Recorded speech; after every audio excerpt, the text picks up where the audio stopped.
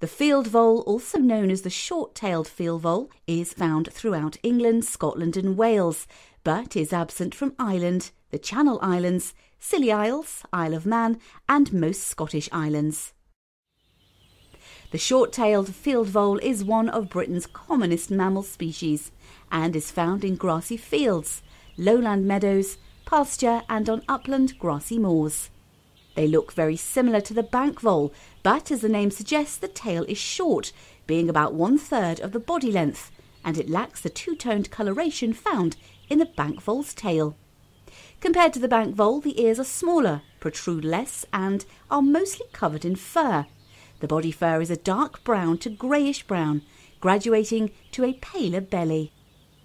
The short-tailed field vole is very vocal and when defending their territories, they can quite often be heard uttering sharp, squeaky calls, which are likened to the sound of a child's toy.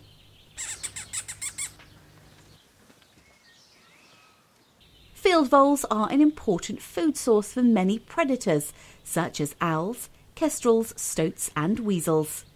They are active both day and night, especially at dawn, using a network of runs and tunnels to feed.